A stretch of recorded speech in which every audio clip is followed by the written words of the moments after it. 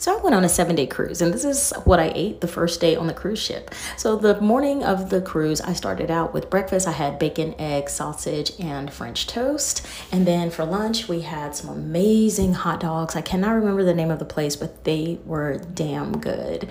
Um, later that afternoon, this is basically a random clip of us driving to the cruise ship. Anyway, so that afternoon, we had some Swiss mushroom cheeseburgers and some potato salad. Oh my God, it was so good. And then a chocolate martini for dinner with baked chicken, asparagus, and mashed potatoes.